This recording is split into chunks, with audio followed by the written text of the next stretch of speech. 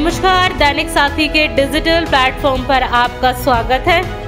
27 नवंबर को जिला परिषद व पंचायत समिति के चुनाव परिणाम घोषित होने के बाद हरियाणा में पंचायती राज संस्थाओं के चुनाव संपन्न हो गए। जी हाँ, रेवाड़ी में भी 18 जिला परिषद व सात खंडों के एक ब्लॉक समिति मेंबर की जीत के बाद बधाइयों का दौर चल रहा है। तो वहीं रेवाड़ी के वार्ड नंबर 18 के एक उम्मीदवार को छोड़कर सभी वार्ड में अधिकतर उम्मीदवारों ने निर्दलीय चुनाव लड़ा। इक्का दुक्का उदाहरण छोड़ दिया जाए तो पार्टी से जुड़ाव व राजनीतिक आकाओं के आशीर्वाद का असर इस चुनाव में धराशायी होता हुआ दिखाई दिया। जी हाँ अधिकतर वार्ड में व्यक्तिगत रसूख व मतदाताओं से सीधा जुड़ाव ही जीत का कारण बना। किस पार्टी का प्रदर्शन इस चुनाव में क्या रहा? नेताओं की ओर से श्रेय खूब लिया जा रहा है।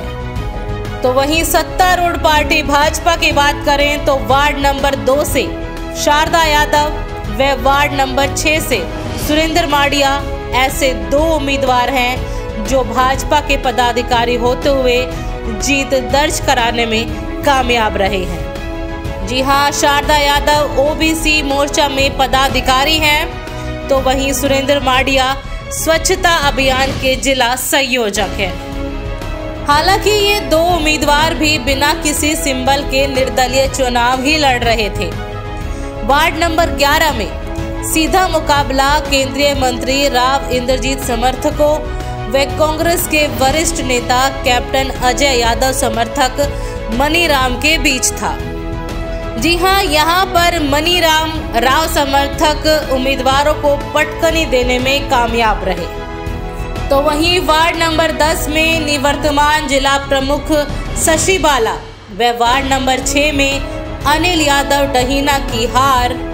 इस बात का परिणाम है कि यहाँ पर उम्मीदवारों को राव के नाम का कोई लाभ नहीं मिला। हालाँकि यह भी सच है कि इन दोनों वार्डों में राव समर्थक ही राव समर्थक उम्मीदवारों को हराने में लगे हुए थे। जी हाँ यह भी गौरतलब है कि एक सभा के दौरान राव खुद कह चुके हैं कि वह छोटे चुनाव में किसी के लिए इशारा नहीं करते। बातें कुछ भी हैं।